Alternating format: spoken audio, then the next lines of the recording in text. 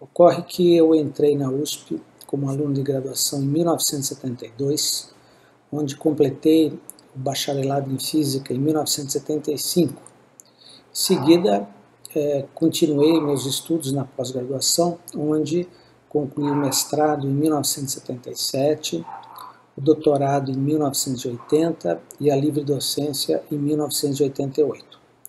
Apesar da excelência da USP em todas as atividades, considero que a formação de recursos humanos é a sua maior e mais importante missão para o Brasil.